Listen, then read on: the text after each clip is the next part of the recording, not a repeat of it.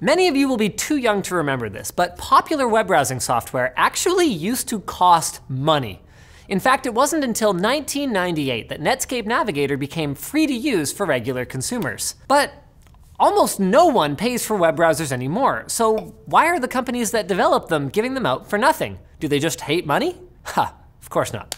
Web browsers are actually monetized quite heavily and do make money. It's just that it's not always obvious to an end user how that happens. So let's take a look at how some of the popular browsers keep themselves afloat, starting with the biggest one of them all, Google Chrome. It turns out that development of the world's most popular web browser is easily supported by the things that it merely encourages its users to do. For example, Chrome's search feature automatically uses Google as your search engine, which invariably will serve you the ads that make up a huge part of Google's revenue.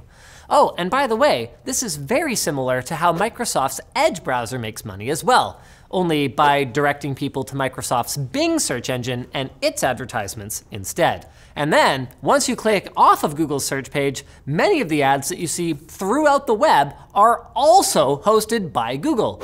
So the idea is that it makes sense for Google to build and maintain a browser that gets people on the web and just browsing, which will lead them to look at Google's ads.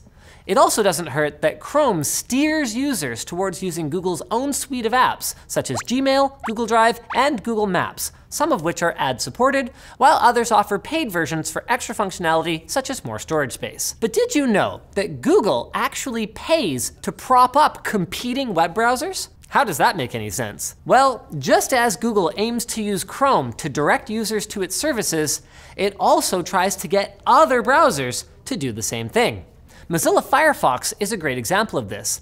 Google has made multiple deals with Mozilla over the years to make Google Firefox's default search engine in certain markets.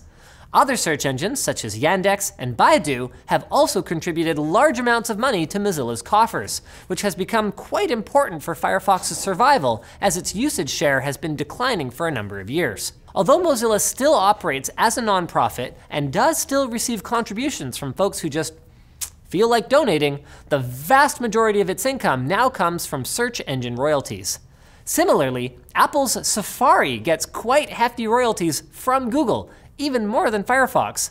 While Firefox got a little over half a billion dollars in royalties in 2017, Google made a deal to pay Apple $12 billion in 2019 to make sure that Google would stay Safari's default search service. And although it seems strange since Google and Apple compete directly in other areas such as in smartphones, Google apparently makes way more than its payments to Apple on the increased ad revenue that it gets back. To take things in a slightly different direction, let's have a quick look at the Brave browser, known for its focus on user privacy.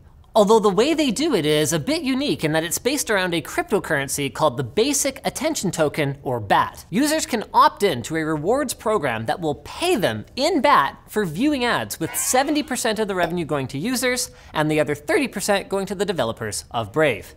We'd be remiss too if we didn't also mention Opera, a browser that still has a substantial cult following. In addition to the aforementioned search engine royalties, they also have deals with sites like eBay to get placed on a user's main speed dial page and have partnered with smartphone manufacturers like Xiaomi to pre-install the browser on their devices. And then there was also a recent scandal where it appeared that Opera was using apps in certain countries to offer predatory loans with absurdly high interest rates. So the bad news is they've used up a fair bit of their goodwill and they may not be a popular browser for much longer.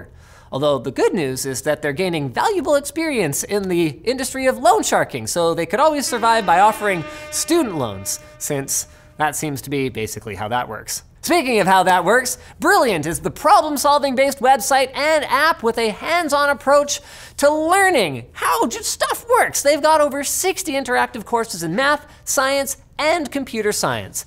The great thing about Brilliant is you get to master concepts by solving fun, challenging problems for yourself rather than watching someone else do it. And it's really useful if you're in a STEM course.